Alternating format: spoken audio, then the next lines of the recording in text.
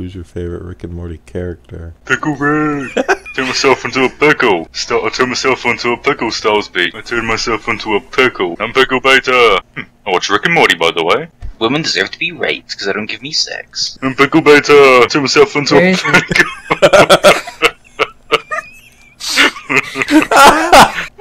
Hmm.